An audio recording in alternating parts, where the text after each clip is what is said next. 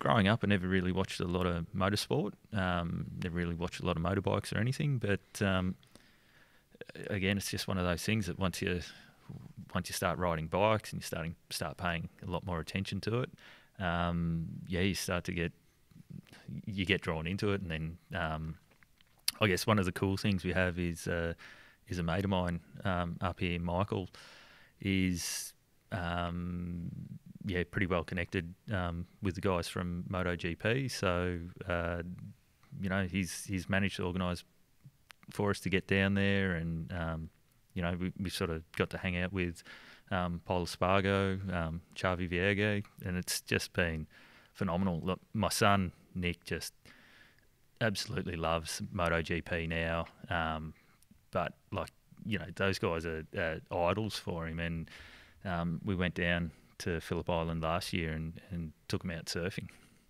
That's and, unreal. And you know it's just you know ha- hanging out they're just awesome guys, and and you know for Nick he's you know the the biggest thing for him was. Um, you know, a bit of a boys' trip to, to Phillip Island. He'd, he'd want an Instagram account, you know, for forever and a day, and we've been like, no, no, no, no. And then finally, it's like, all right, mate, you can have an Instagram account, and like helped him set it up. His first post, you know, is the photo of him surfing with with two guys from MotoGP. His first two likes ever, and first two comments on his first post are from two Moto guy, MotoGP guys. Like It's incredible. he's just sitting there going, oh, you know, this is this is Yeah. phenomenal. And yeah, like it's um, Are they good guys? awesome, absolutely awesome guys. Like um, in our first year that we went down, um, you know, KTM Red Bull was was fairly new, Mm. um, and uh, yeah, like Pol took us in, gave us a tour of the pits. Um, you know, just never never even sort of contemplated that that we'd be able to get access, you know, to do Yeah. that, to go in and and see the bikes. You know, Pol's giving us a full tour of his of his bike and, and showing us, you know, the whole setup and the computers and how it all works, and it's it was absolutely mind blowing. Um, and you know, for for Nick at the time, he was he must have been uh, eleven, I think, when we went to the first one, and you know, um, Michael's got him in, so we were in with the um, uh, who was Xavi riding for at the time. Uh, he was riding with Remy Gardner um, in one of the Moto Two teams, but Nick's in there on the on the you know sit got photos sitting on the bike in- on it. on the bike in the pits. He's you know stuck his head out of pit lane and seen him coming down you know in warm up laps and like it's just absolutely incredible. And then uh, last year I, I actually managed to get out onto pit lane. Uh, yeah, at the sorry at the um, start of the race for Moto three, so On the grid. out on the grid.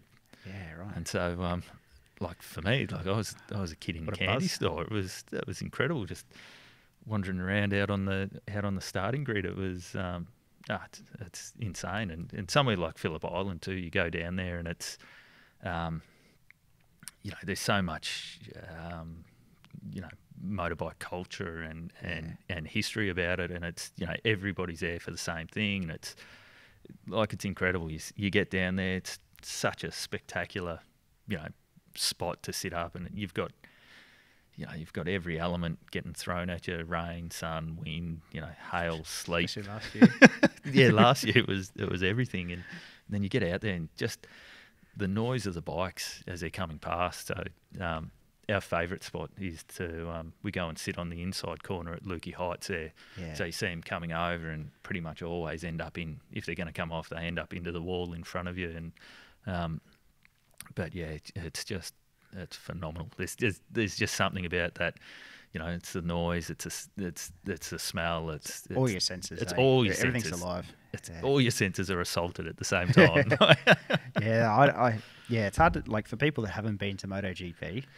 Yep. It's just so hard to describe. Like, oh, it's just motorbikes going around. No, there's just so much. And Phillip Island, yep.